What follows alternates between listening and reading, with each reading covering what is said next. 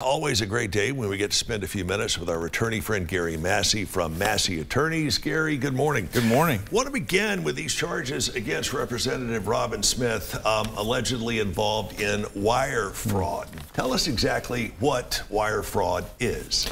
Well, wire fraud is two different things. It's wire. It's it's fraud that involves the use of the banking system. And so the wire part of it talks about transferring money through the federal banking system. The, the federal government provides and regulates a banking system. And so when money moves from one bank to another, that moves through a, a uh, you know, a computer system, which is the wire part of it. And then fraud is you've done something to, you know, to take money illegally. You've cheated somebody, you've somehow tricked somebody into paying money, or you've done something deceitfully to hide it from the government, or something like that. Some sort of deceptive activity involving the banking system, and that makes it a federal crime, makes it wire fraud. And this has to be intentional, correct? Knowing that you're doing something wrong.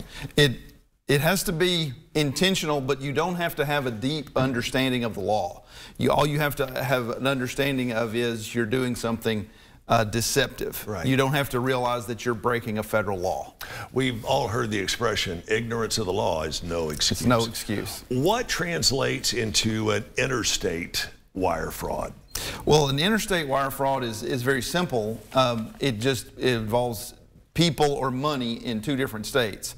So if you know you have a bank in Georgia transfer money to a bank in Tennessee, or in this case maybe Arizona or New Mexico or something like that is where this business was set up. But apparently the entire business was sort of fraudulent, and it, it sounds like a money laundering situation where they're acting like they're paying for campaign work, where really they're just paying money out of a campaign from donations to a, a fraudulent business to then pay themselves money. Uh, and so that's a you know a way of stealing money and you know, turning campaign donations into personal gain. And in cases like that, rarely are taxes paid on money like that, I would think. Um, at what point It's usually done FBI, through reimbursement. Yeah, sure. Yeah. At what point does the FBI get involved in something like that? When it's a wire fraud of any sort? Well, they you know they don't get involved in every wire fraud, but they can. If you commit fraud and it uses the banking system, mail fraud, same thing. You commit any kind of fraud and it uses the mail system, that makes it a federal crime. And so they can get involved in that. But they're also involved in political corruption. So even small-time local political corruption is a federal offense. There are federal laws, you know, regulating all types of political officials and elected officials. Uh, and so they're, in this case, apparently uh, on two different, for two different reasons, you know, two different bases, making it a federal issue. While most of us probably have never done a wire transfer, either sending it or receiving it, are there any signals to look out for for companies when it pertains to wire transfers?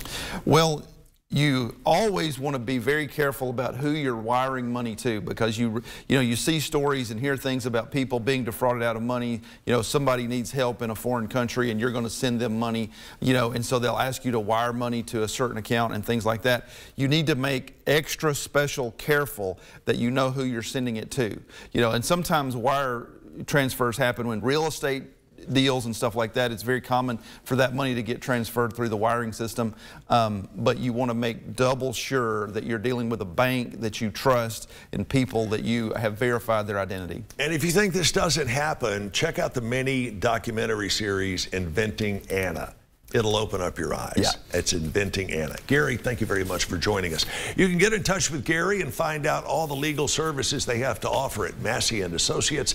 There they are, the website, masseyattorneys.com. Again, masseyattorneys.com.